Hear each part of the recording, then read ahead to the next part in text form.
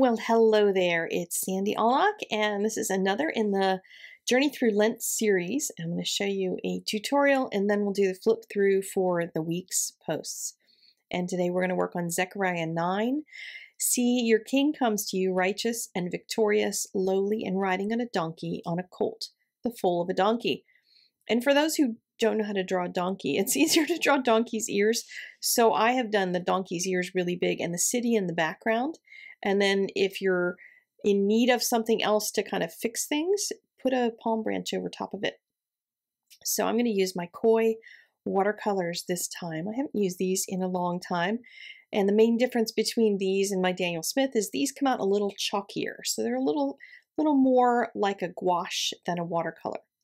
But the set is really nice. It's got this palette that's already here, etc. So it's really easy to use that way and you don't have to buy a palette, you don't have to have tubes, that sort of thing. So it's a decent set for sure.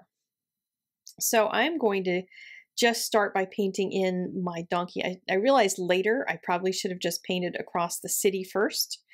And yeah, that's me doing the thing that was my idea for it before doing the background portion.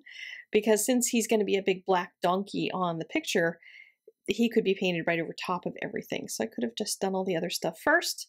But if you decide to download the sketch that's in the doobly-doo in the description down below, then you can do that in the right order yourself once you do.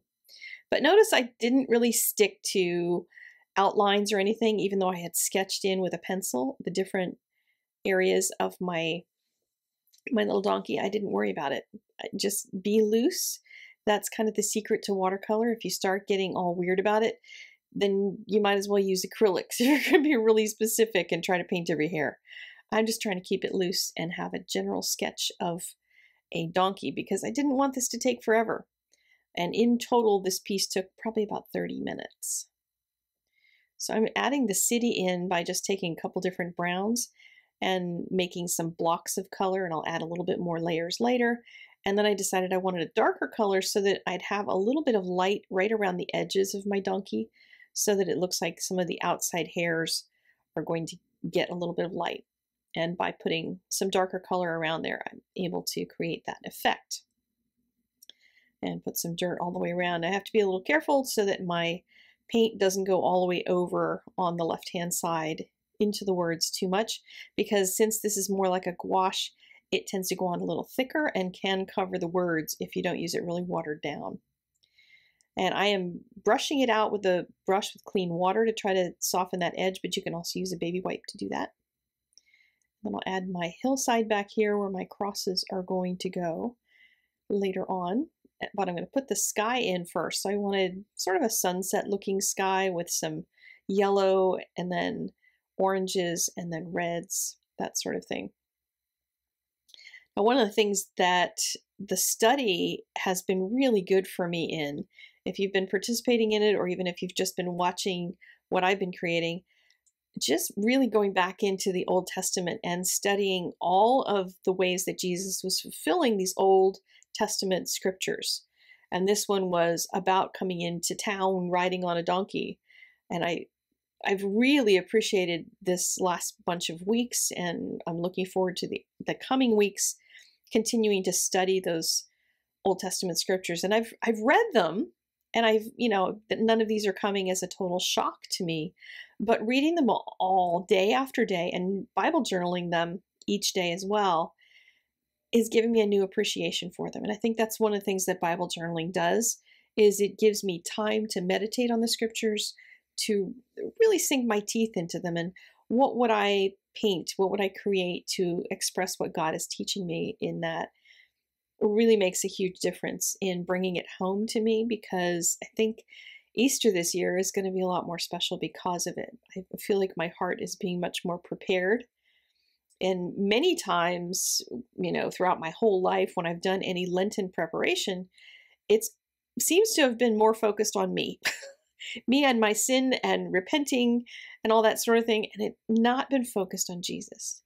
Focused on what he did, how he's fulfilled the scriptures, how he has brought salvation.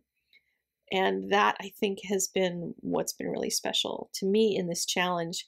And I would like to do other challenges throughout the year, maybe not right on the heels of this one because I need a little bit of a break.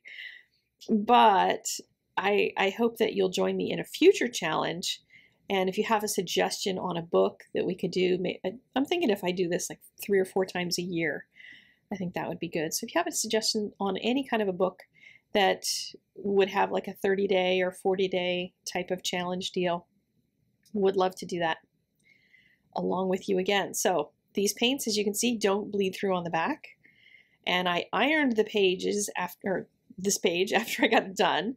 I do that with most of my watercolor pages because then they're a little bit flatter and it's easier to do the pen work once it's a little bit flatter.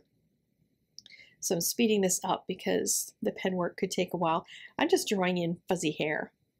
And here I'm using a thinner pen, so this is a 0.5, uh, the 0.5 size micron pen, which doesn't bleed as well. And then I'm going to switch over to the 1 because for the larger hairs on the back of his, his neck, I'm going to need a little bit bigger pen. I have one of those sets of pens that has all the different sizes in it, and you can get one of those, or I would just recommend having a like the ones I use the most probably are the 1 and the 0.5. Sometimes they're really tiny 0.1 if I need some super tiny detail on some of them. And when you see the sheep later on in this one, that one is with a 0.1. So there's some where you have a really delicate little outlines and things that you might need a smaller pen for, that kind of thing. But these are not expensive pens, so to me, it's worth getting the whole set. And I have a set that's actually in a little case and everything. And I will put links to that in the description down below in case you decide you want to go get one. And I also, in the description, always have a link to whichever Bible I'm using. I have links to all the Bibles that I use, but I have specifically things used in this video. So I, I list the paints and the brushes and the Bible and everything as well as all of my general supplies down below. And there's, of course, going to be more elsewhere. Um, I'm working on building a Bible journaling website right now, so I'll have all that there when the time comes, whenever it's finished, with lots of more information on it. Because since I don't really do much on my blog anymore with Bible journaling, I decided I needed another site to do that. So putting in more details here, I added another layer because my city wasn't popping very much. And then I wanted my crosses up there on that, that hillside in the sunset. And then I'll add my, my palm branch. And of course, since it's kind of a Palm Sunday type of image, seemed appropriate to do a palm branch here.